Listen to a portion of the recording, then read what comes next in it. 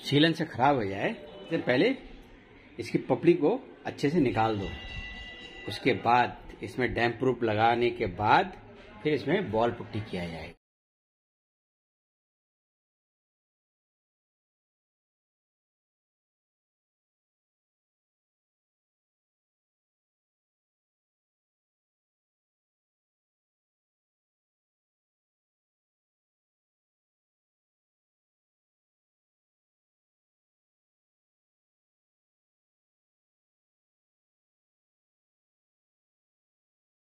ऊपर से पानी आ रहा होगा पाइप में ही कुछ कमी होगा इसके।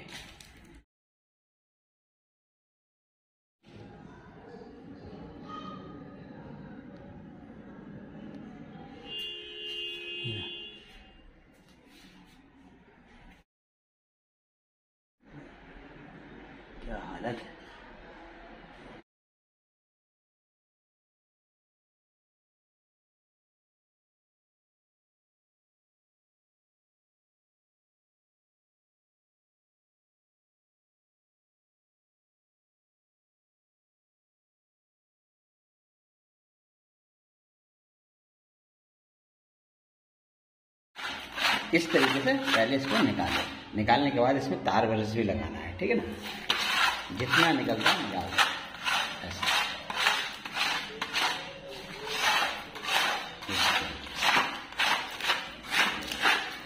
और देखो, लापरवाही नहीं करनी है। जितने भी ढीले हैं ना, दीवार में जो पेंट या प्लास्टर निकल जा रहा है, इसको अच्छे से निकालना है पहले। उसके बाद तार ब्रश लगाना है। उसके बाद डैम प्रूफ करना है। डैम प्रूफ करने के बाद फिर इसमें बॉल पुट्टी करेंगे।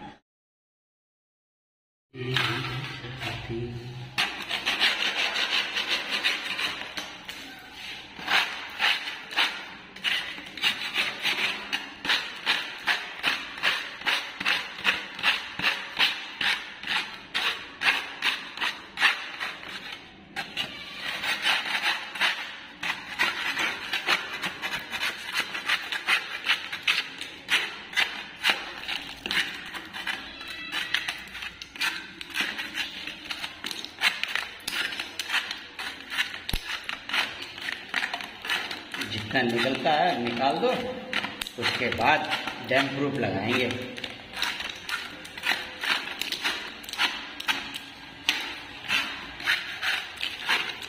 देखो देखो, सीलन तो है, उसके लिए हम मना नहीं कर रहे हैं, लेकिन जिसने पहली बार इसमें पेंट का काम किया है ना, उसने भी बदमाशी करी है।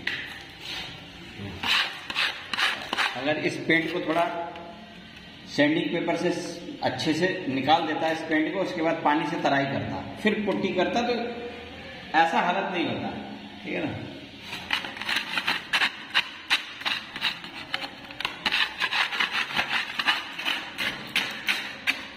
देखो, जब भी डैम प्रूफ करना हो ना, इसी तरीके से, अच्छे से पहले आप निकाल दीजिए, ठीक है ना? उसके बाद डैम प्रूफ करें। और ध्यान रखो, जब भी आपको अगर जैसे, देखो पुरानी दीवार है ना, बेकार है इसमें ऐसे ही पेंट कर दिया होगा कभी। उसके बाद देखो इसमें बॉल पुट्टी करिए लेकिन इस पेंट को भी अच्छे से छुटाना चाहिए पहले। उसके बाद तराई करो, उसके बाद जाके पुट्टी करो। ठीक है ना? इस तरीके से होना चाहिए कम से कम। या तो ऐसा हल्का हल्का कर दो। ठीक है ना? ऐसा हल्का हो, तब पुट्टी करो। ठीक है ना? तराई करके। अगर पेंट के ऊपर ही करोगे तो देखो निकल जाता है। कमज़ोर रहता है ना? मज़बूत इस तरीके से पहले आप साफ़ कर लेंगे तो हम इसको पहले अच्छे से साफ़ कर लेते हैं।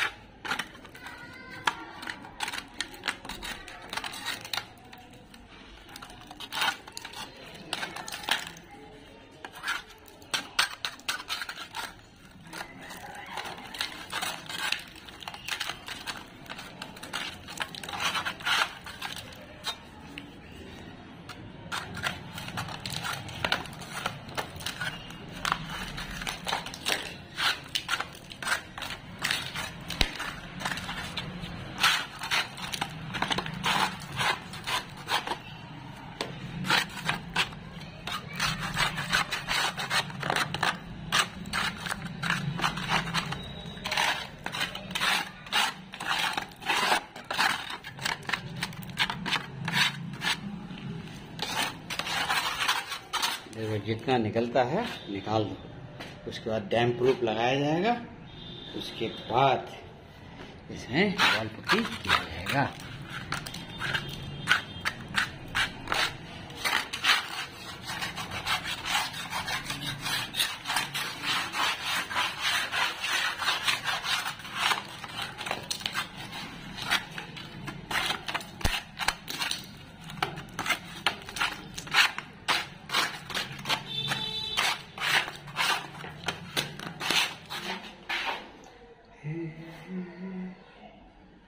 डैम प्रूफ लगाओ डैम प्रूफ लगाने के बाद फिर बॉल पुट्टी करो ठीक है ना जितना निकलता है निकाल दो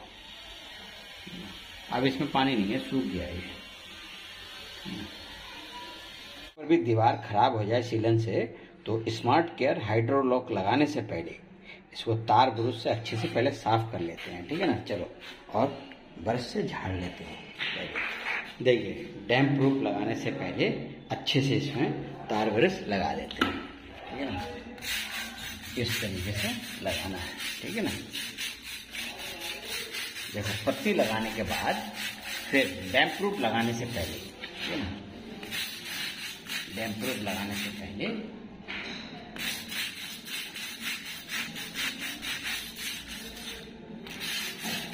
इस तरीके से तार ब्रश ज़रूर लगा।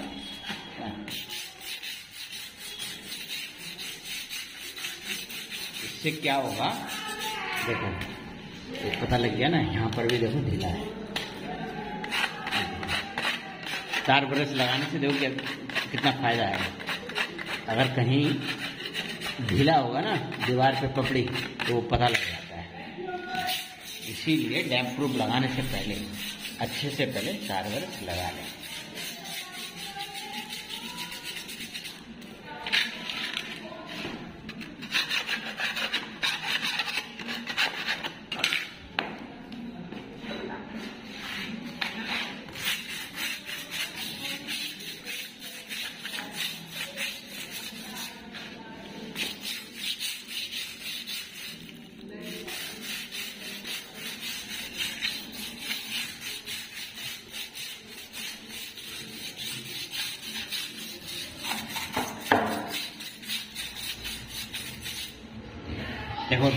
करने से पहले इस काटिंग को अच्छे से साफ़ कर लें। ठीक है ना? इस काटिंग को साफ़ कर लें। दीवार को भी देखो, जहाँ पर आपको डैम प्रूफ लगाना हो, दीवार और इस काटिंग दोनों अच्छे से साफ़ कर लें। उसके बाद ठीक है? इस तरीके से। क्योंकि देखो, जब आप पत्ती लगाते हो, तार ब्रश लगाते हो तो क्या होता है? छोटे छोटे रेत के कण आ जाते हैं। अगर आप ऐसा अच्छे से साफ़ सफ़ाई करके डैम प्रूफ नहीं लगाओगे तो आपका डैम प्रूफ खराब हो जाएगा।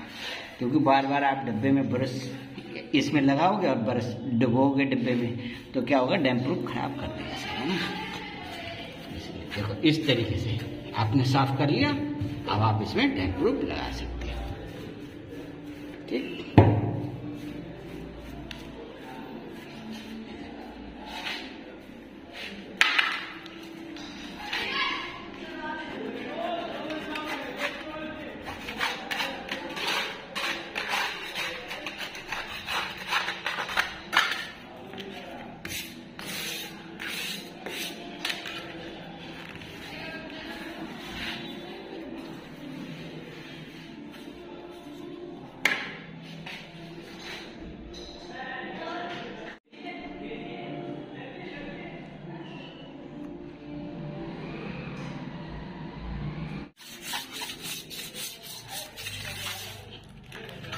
बाद ऐसे ब्रश से इसको साफ़ ज़रूर करें। नहीं तो डैम प्रूफ को भी खराब कर देंगे इस तरीके से साफ़ करके तभी करें। ठीक है?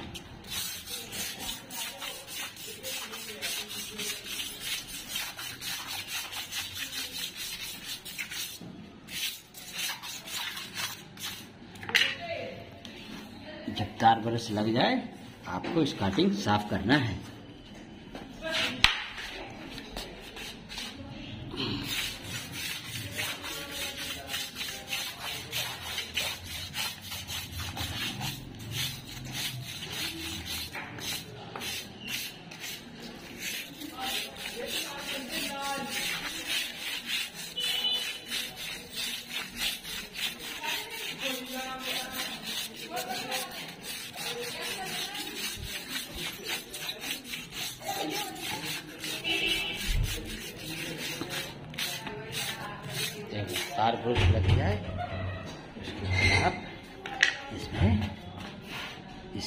ज़रूर साफ़ कर दें। दीवार पे भी ब्रश लगाएँ और स्कर्टिंग पे भी लगाएँ। और दीवार साफ़ करना बहुत ज़रूरी है, तभी आप डैम प्रूफ लगाएँ।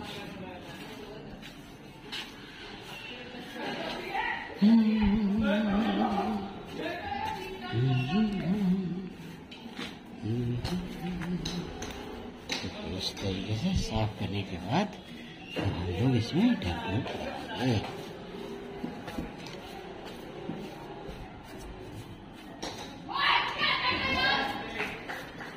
साफ़ सफ़ाई ये नीचे की गंदगी बाद में उठा देंगे। देखिए डैम प्रूफ के डिब्बे को हमने खोल लिया है, ठीक है ना? ये देखो, होगा ये में ये देखो, एक खाली डिब्बा लो, चार लीटर का, क्योंकि देखो, पूरे मटेरियल के अंदर अगर आप ब्रश डाल के दीवार में लगाओगे ना तो जो दीवार में हल्का फुल्का जो रेत होता है ना, वो भी इस पूरे मटेरियल में लग जाएगा। लगभग हम इसमें आधा लीटर ले लेते हैं। और देखिए, आधा लीटर में हम 100 एम इसमें पानी भी मिला देंगे, क्योंकि थोड़ा पतला रहेगा ना तो लगाने में सुविधा होगा। ज़रूरत पड़े, एक कोट लगाओ, थोड़ा सा पानी डाल के, फिर जब तीन चार घंटे के बाद एक कोट और लगा दो, जब सूख जाए अच्छे से, ठीक है ना? लेकिन एकदम गाढ़ा गाढ़ा ना लगाए, ठीक है ना? हमने पहले से ही एक लीटर में सौ एम पानी मिला दिया था। आप चाहो तो आधा लीटर में ही सौ एम मिला सकते हो, ठीक है ना? ये देखो। क्योंकि ब्रश चलना चाहिए, ठीक है ना? ये देखो, अभी भी बहुत गाढ़ा है, ठीक है ना? इसमें थोड़ा सा पानी और हम ऐड कर लेते हैं। देखो, आधा लीटर में आप सौ एम पानी दे सकते हो, क्योंकि हमने एक लीटर में सौ एम मिलाया था, लेकिन बहुत गाढ़ा है। कितना ठीक है। अब हम इसमें लगा के दिखाते देखो, जहाँ जहाँ खराब है, अब वहाँ वहाँ कर दो, ठीक है ना? ये देखो, हमने इसको अच्छे से साफ़ कर लिया। अब आप इसमें लगा दो। कहीं पे भी हो। अब पुट्टी करने से पहले या रिपेयर करने से पहले इस तरीके से अगर आप कर दोगे ना तो क्या होगा? दोबारा फिर आसानी से निकलेगी। ठीक है ना? इधर भी नहीं लगेगा। लेकिन फिर भी हम आपको दिखाने के लिए देखो। क्योंकि ऊपर कहीं टूटा होता तो हम नहीं लगाते, अगर सीलन नहीं होगी तो ठीक है ना? और देखो, ये जो नीचे आ जाता है ना, हाथ के हाथ साफ़ कर देना चाहिए। तो बाद में बहुत दिक्कत होगी साफ़ करने में, ठीक है ना? अभी हम एक कपड़े से इसको साफ़ कर लेते हैं।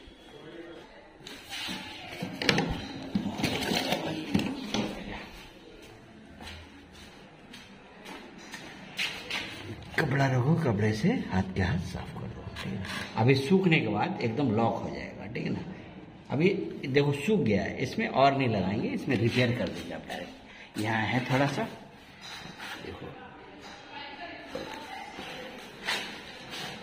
देखो, यहाँ पर सिलन है नहीं, सूख गया, लेकिन हम इसलिए लगा दे रहे हैं ताकि नीचे है ना, ताकि दोबारा कभी आसानी से सिलन ना आए, ठीक है ना?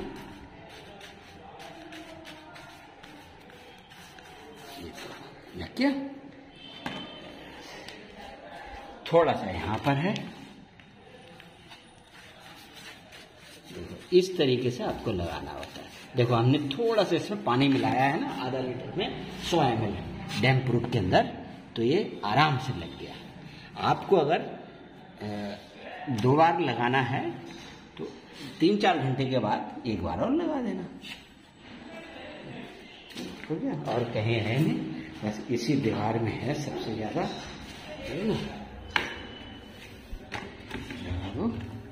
देखो अच्छे से हमने देखो पत्ती लगाया, तार बरस लगा दिया, ठीक है ना? देखो, इसको एक बार लगा देंगे अच्छा रहेगा, क्योंकि अब सिलन है नहीं, सूख गया है। और ये बदमाशी करी है पेंटर ने, देखो।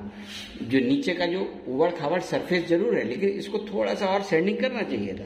तब जाके बॉल पुट्टी करना चाहिए। ये देखो बॉल पुट्टी करके ही पेंट किया था ना तो इस पेंट को थोड़ा अच्छे से छुटाना चाहिए था। देखो। देखो, इस तरीके से आप डैम प्रूफ लगा दें ठीक है ना?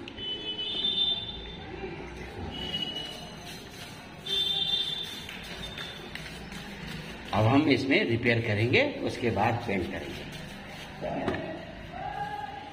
देखो, सारा खेल होता है पैसे का। जैसा मालिक पैसा देता है, वैसा ही काम होता है। अच्छे से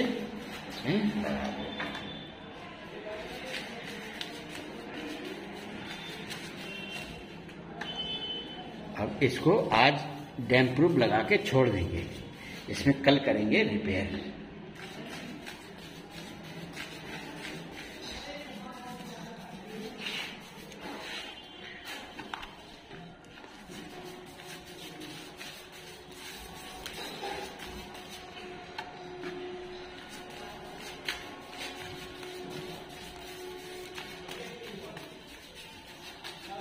तो इसके छेदों में अच्छे से भर जाना चाहिए।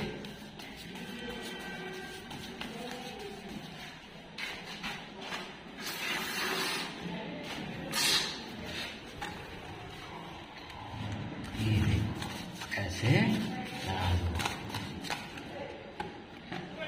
देखो, वैसे तो डब्बे को खोल के मोटा मोटा ही लगाना चाहिए, लेकिन क्या है ना बरस चलना भी तो चाहिए। और थोड़ा सा पानी डालने से, आसानी से, देखो कितने प्यार से लग जा रहा है ना। देखो, ये ऐसे जो नीचे आ जाता है ना, इसको हाथ के हाथ साफ़ करना चाहिए।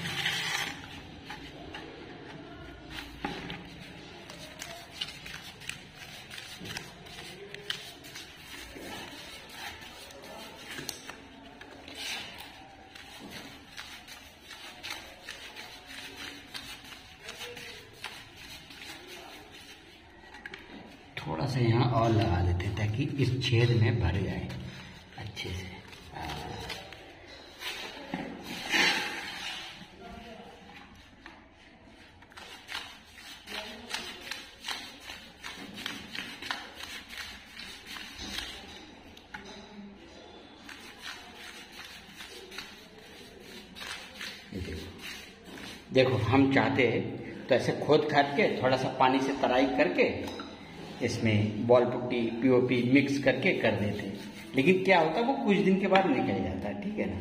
लेकिन ये डैम प्रूफ लगाने से ये थोड़ा टिका रहेगा। अगर इसमें पानी आएगा दोबारा तो निकलेगा तो ज़रूर, लेकिन निकलने में बहुत इसको कठिनाई होगा, क्योंकि डैम प्रूफ जो लगा दिया है हमने, ठीक है ना? ये देखो। थोड़ा कीमत है डैम प्रूफ। देखो, पौने छः सौ रुपये लीटर है, पाँच सौ पिछहत्तर रुपये एक लीटर, ठीक है ना? लेकिन कोई दिक्कत नहीं। काम अच्छा होना चाहिए। तो अच्छे से अगर आपको ज़रूरत है कि थोड़ा और लगाएँगे तो जैसे एक बार सूख जाए, तब आप एक बार और इसमें लगा सकते हो, ठीक है ना? अब इसके बाहर के दीवार को भी कर देते हैं। और जैसे कि ये कहीं कहीं टूटा रहता है ना, जैसे ये देखो, इधर ये टूटा रहता है या यहाँ पर, ये तो पानी लगाएँगे थोड़ा और रिपेयर करेंगे, हो जाएगा। ज़बरदस्त हो गया ना। आप चाहो तो एक बार और लगा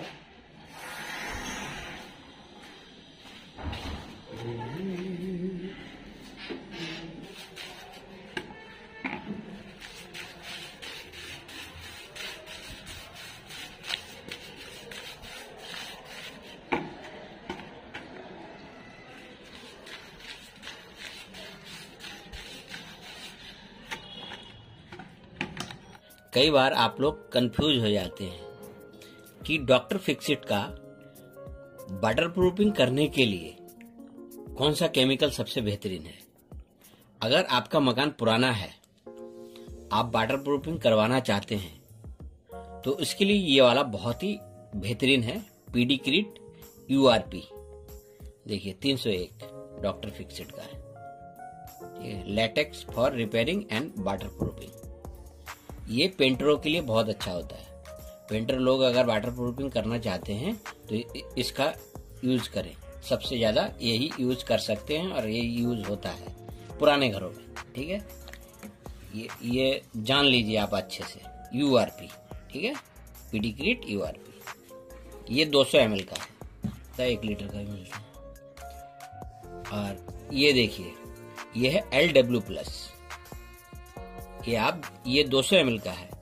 200 एम का 50 किलो सीमेंट में आप मिला सकते हैं। ये पेंटर लोगों के किसी काम का नहीं है।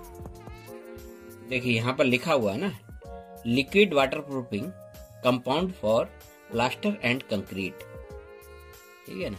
टॉनिक फॉर सीमेंट इसमें लिखा भी है। इसीलिए आप लोग ध्यान रखें।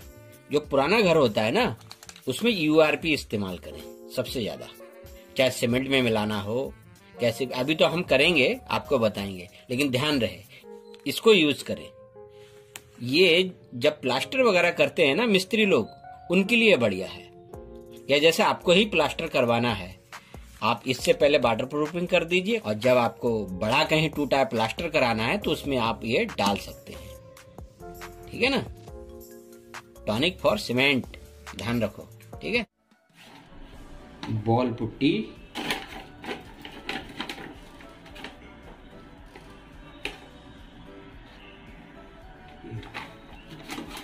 एक बार। प्लास्टर ऑफ़ पेरिस पीओपी ठीक है? हो गया और इसको अच्छे से मिक्स करो।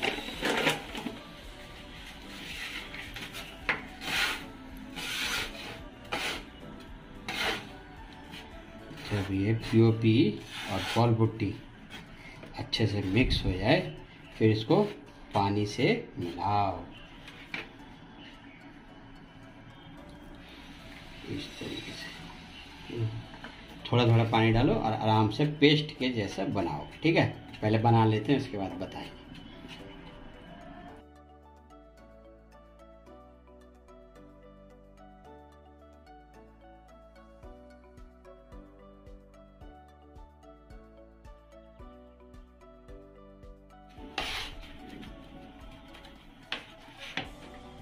देखिए जब रिपेयरिंग के लिए बॉल पुट्टी और पीओपी बनाए, कहीं सीलन हो तो इसको थोड़ा सा डालें, ज़्यादा भी ना डालें, इतना भी ना ज़्यादा डालें कि घिसाई करें तो वो कटे नहीं, ठीक है?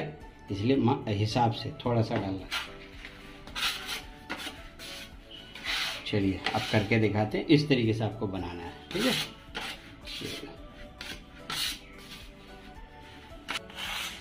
देखिए, पत्ती से भी लगा सकते हैं और गरवारा से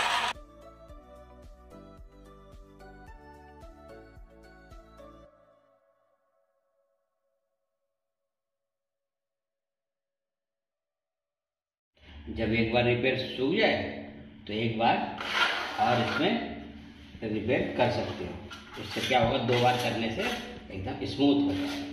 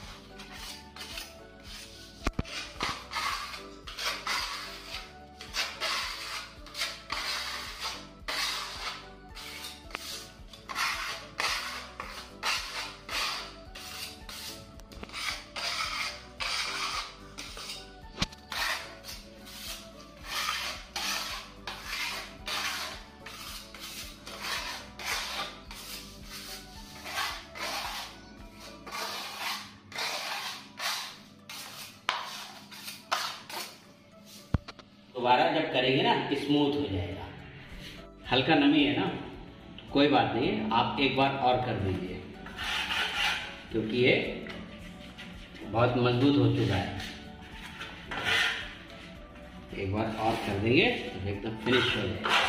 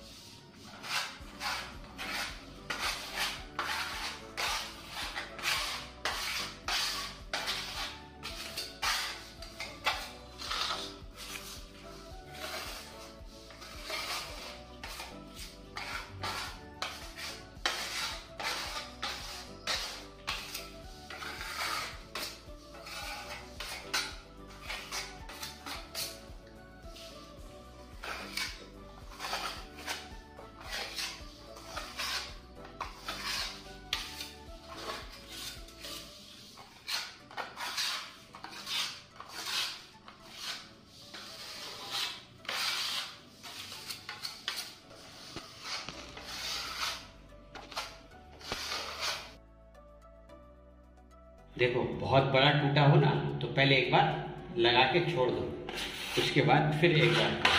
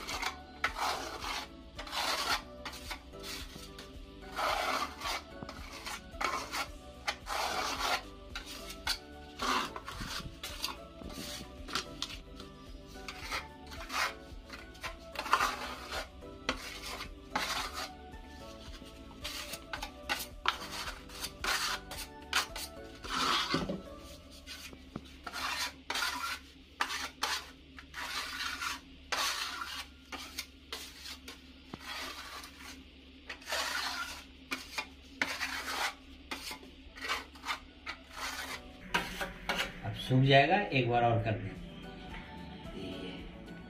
फास्ट वायलेट ठीक है? ज़्यादा नहीं डालना है। हल्का सा।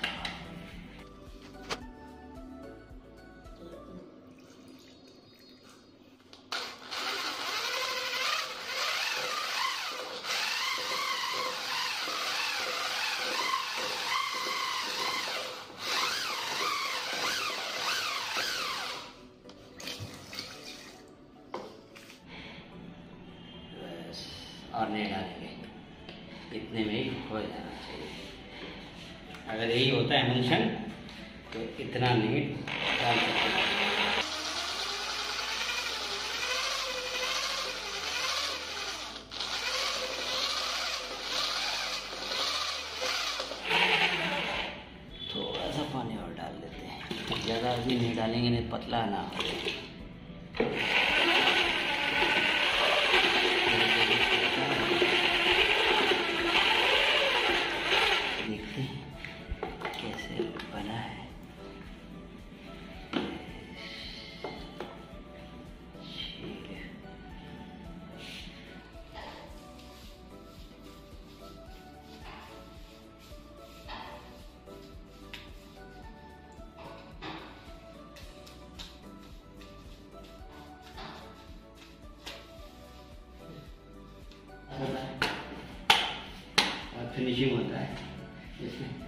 पूरा हो जाएगा तो दिखा देना, ठीक है? जब दीवार करने से पहले थोड़ा सा अलग से बचा कर रखना। कहीं दीवार का कलर सीलिंग में चला जाए तो टचिंग कर सको, ठीक है? ऐसे। डिब्बा को बंद कर दो। रख अगर कहीं लग जाए तो टचिंग कर देना, वरना किसी और में आ जाएगा। डर रहा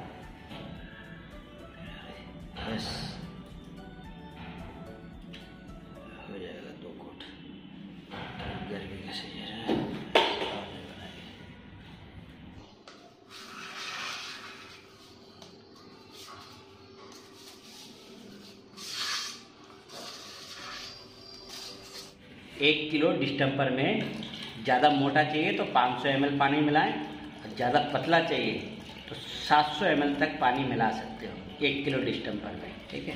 500 से लेके 700 सौ तक एक किलो डिस्टम्पर में मिला सकते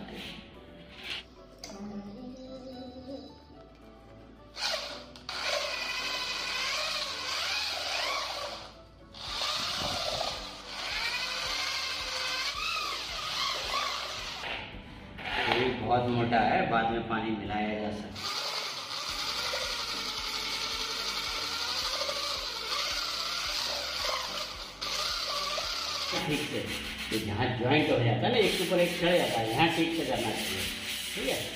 इस तरीके से अच्छे से घिस के टचअप कर लीजिए एक बार पेंट से। उसके बाद दो कोट लगा दीजिए सूख इस तरीके से इधर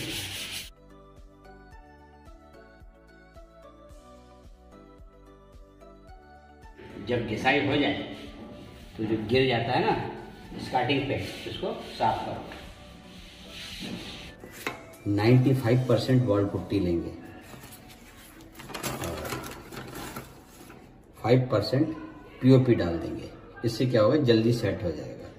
लेकिन इससे ज़्यादा नहीं डालेंगे और इसको अच्छे से मिलाओ।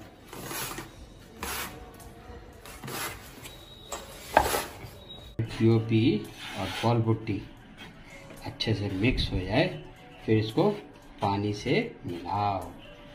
थोड़ा थोड़ा पानी डालो और आराम से पेस्ट के जैसा बनाओ। रिपेयरिंग के लिए बॉल पुट्टी और पीओपी बनाए। कहीं सीलन हो तो इसको थोड़ा सा डालें हिसाब से थोड़ा सा डालना।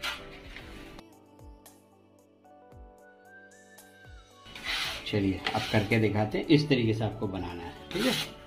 पत्ती से भी लगा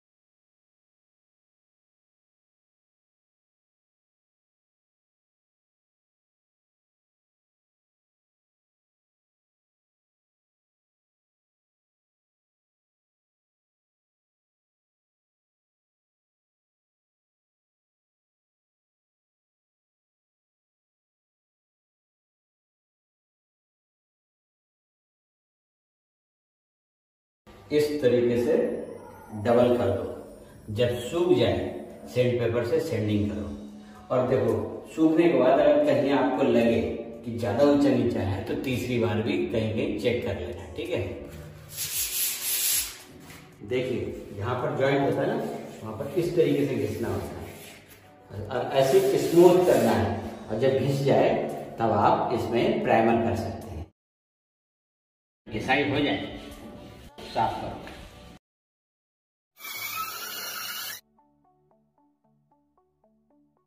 पहले सीलिंग के लिए बना।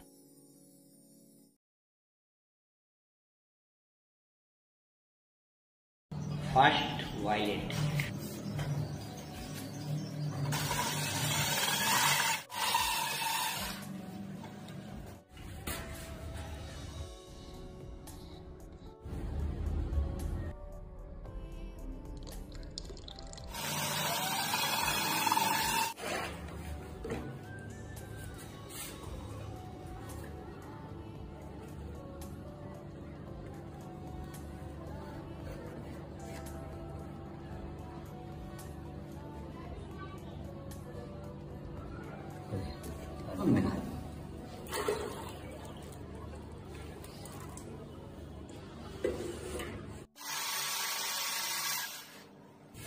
सीलिंग में लगा के देखते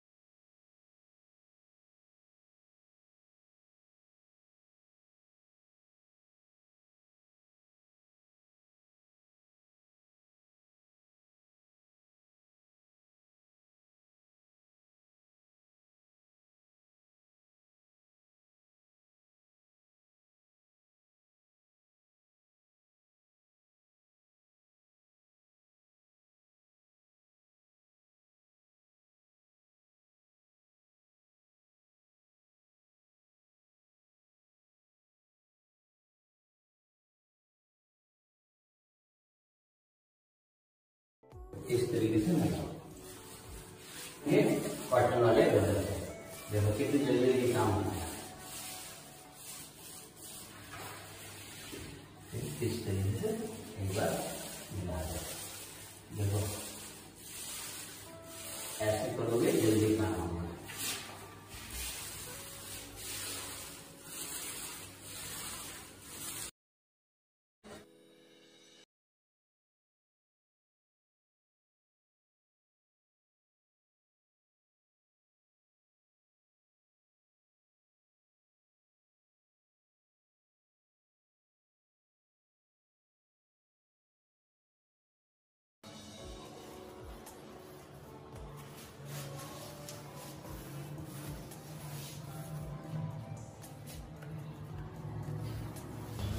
के फ़र्स्ट क्लास